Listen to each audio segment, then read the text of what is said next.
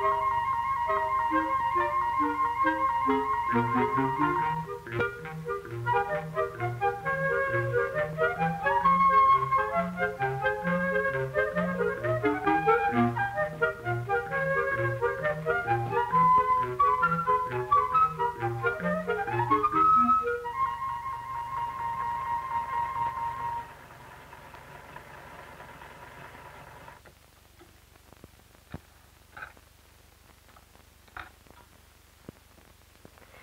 a lesson where we actually start sewing. I think you can readily see the advantages of leaving your pattern pinned to your fabric until you are ready for sewing.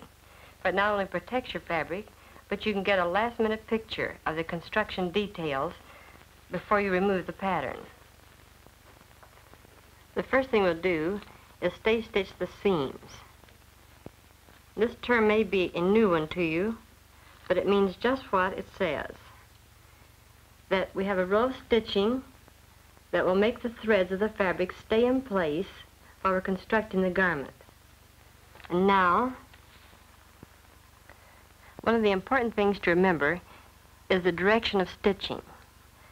And we'll stitch from the high point here at the shoulder down to the armhole line. In case you don't remember the direction, you can check it by running your fingers lightly along the slanted edge at the shoulder. And you'll be able to see that more clearly if I use this coarse fabric. Run our fingers in the right direction, the threads stay unruffled. But if I run my fingers up in the other direction, you'll find that the threads pull out and the seam stretches. So we'll stitch from the high point down. Now one more caution. If you do run this test, remember to run your fingers down the edge of the fabric so lightly that they won't shift the threads before they're held in place by the stay stitching. The first place we'll stay stitch is at the shoulder seam. And we'll want to hold these threads along the seam line in place during our construction, so we need to establish our seam line. And we'll do that by using the seam guide that comes with your machine. If you have marks along the bed of your machine, such as this one, then put the end of the guide along the mark that will indicate the width of seam of your pattern. Hold the guide in place and screw it down tight. Or if you don't have the marks on your bed of your machine, then use the pattern Put the needle down on the seam line, then bring the guide up to the edge of your pattern and tighten it down.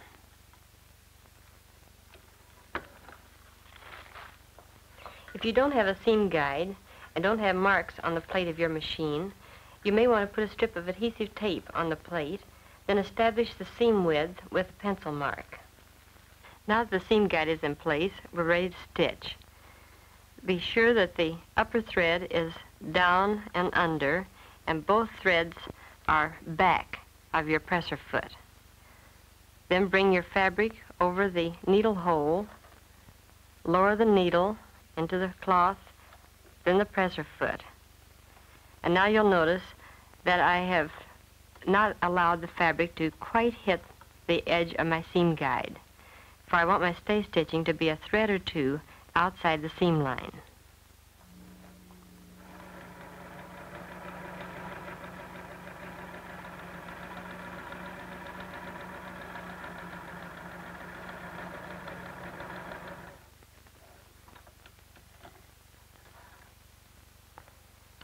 And keep the edges of your fabric clean by cutting off these long threads. Next, stay stitch the neckline and we'll stitch from the high point down or in the direction of the grain. You'll notice that we're using white thread so that you'll be able to see the stitching lines better.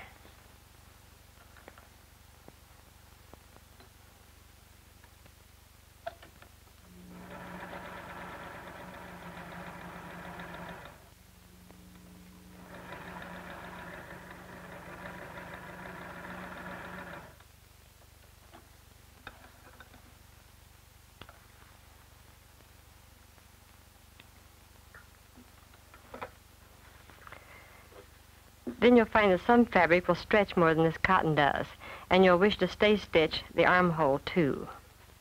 However, if the armhole isn't stay stitched, I have found that the sleeve sets in more smoothly. Next, we need to transfer some markings through from the wrong side to the right. And since our markings are as they should be and are very light, you probably won't be able to see them. So let me show you where they are with this black line of paper. The center front and the placement for the buttonholes. And then down here at the lower edge, the pleat. We'll mark this line with a basting stitch, which is the longest stitch we can make on our machine. Then to transfer the center front marking from the wrong side to the right side, we'll stitch right down the marked line.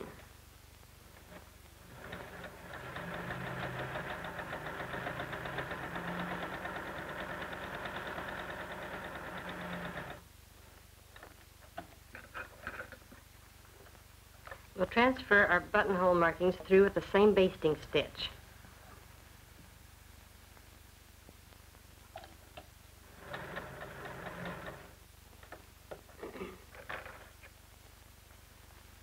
And we're not concerned at this point with the length of our stitch, but it's the starting point of each buttonhole.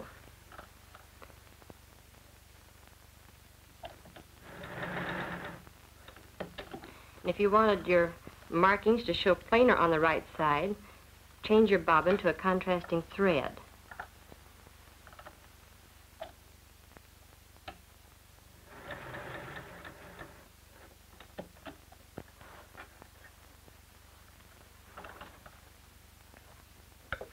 Then next we'll mark the pleat down at the bottom.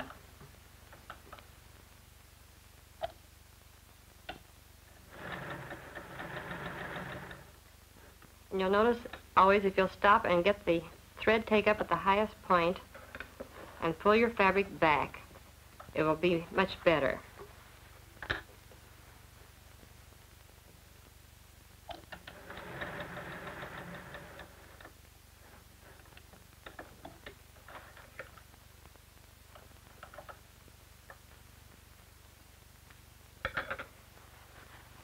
Then while our fabric is still flat, we have one more place to stitch. And that is up here at the corner where our pattern tells us to clip. And we'll want to stitch around that corner with a smaller stitch than usual.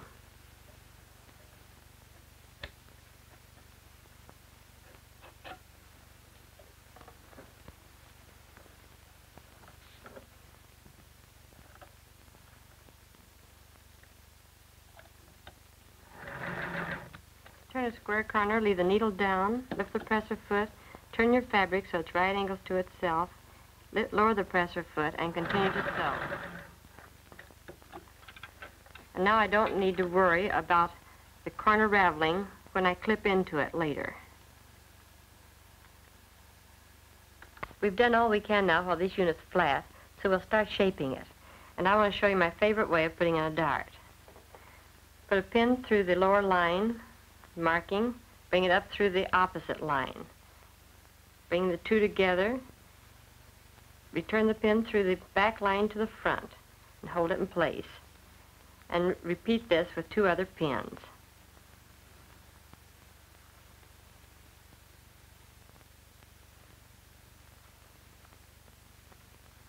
In order to have a smooth dart, start stitching at the point. Lower your needle on that crosswise line, just catching one thread. And then take two or three stitches along that thread. Bring in a slip of paper, lay right up against the needle, and hold it along the marked line and stitch along the edge of your paper.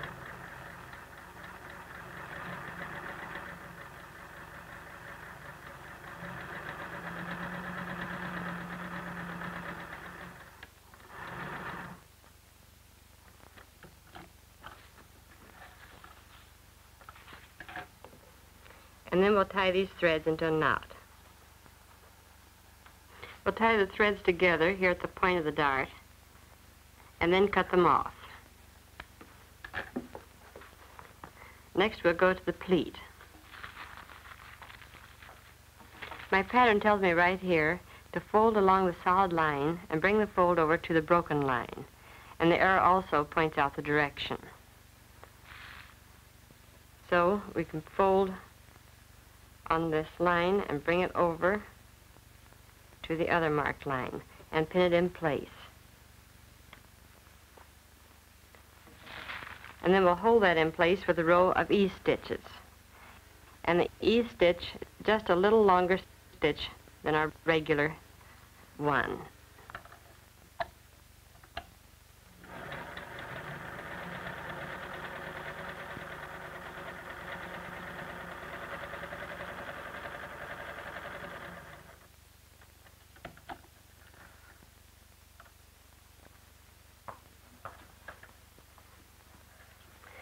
Completes the stitching on this unit, and now we're ready to press.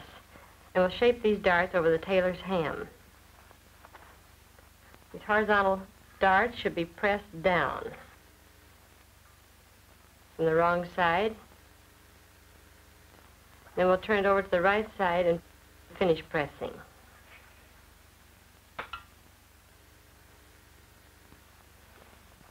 Then next, the pleat. And with this pressing, we will have gone as far as we can with this unit. And it'll be easy enough to lay it aside, go to other housework, or complete the other front unit. Next time, we'll go to the back unit.